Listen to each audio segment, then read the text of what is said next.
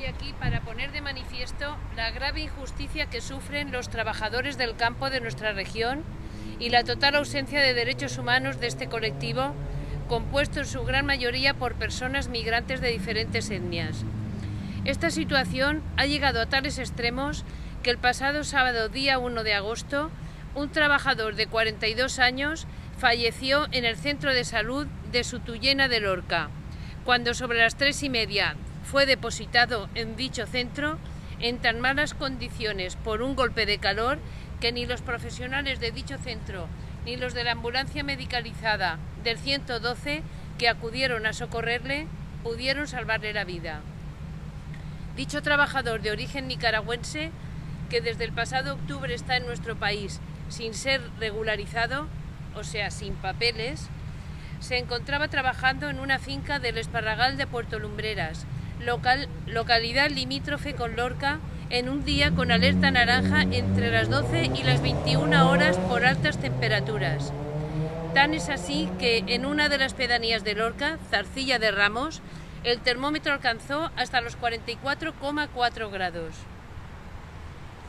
Hoy aquí queremos ser la voz de todas las personas que por su situación de desprotección, sin papeles y por sus condiciones de precariedad, se ven abocadas a tener que aceptar condiciones inhumanas que algunos empresarios latifundistas del campo de nuestra región les imponen y que en ocasiones los llevan hasta la muerte. No solo queremos ser su voz, sino que además nuestras convicciones como colectivo, que trabajamos para que cualquier persona en nuestro país y en nuestra región pueda tener una vida digna, no estamos dispuestos a permanecer callados ante la muerte de ninguna persona, como consecuencia de que sus jefes incumplan las normas de prevención de riesgos laborales, negándoles el agua fresca, un lugar cubierto para comer, no respetar las jornadas intensivas o someterlos a un trabajo a destajo.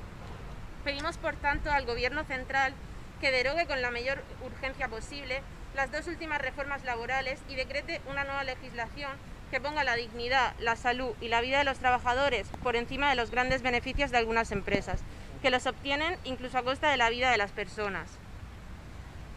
También pedimos que cada migrante pueda tramitar lo antes posible su regularización y disponga de sus papeles, sus papeles son el seguro que en ciertos momentos los puedan mantener a salvo de que su vida peligre, por algunas condiciones de trabajo que ciertos jefes les imponen, porque además le asegura su asistencia sanitaria y por tanto su derecho a la salud.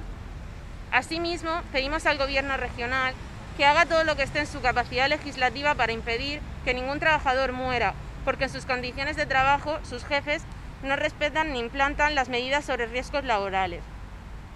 Exigimos que estos incumplimientos se penalicen, con multas que den valor a la vida de los trabajadores, si es que una vida se puede valorar en dinero, incluso la cárcel si la situación de explotación así lo requiere. También pedimos al Gobierno de la región murciana que intensifique las inspecciones en los lugares de trabajo y de los tajos en el campo, que se persiga el trabajo a destajo y se implanten unos salarios dignos, aunque el trabajo no esté regularizado aún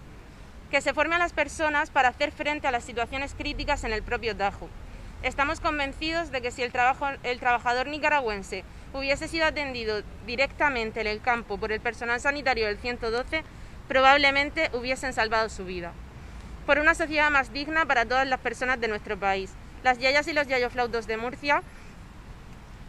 pedimos la regularización de todas y todos los migrantes, porque ninguna persona es ilegal en ningún lugar del mundo.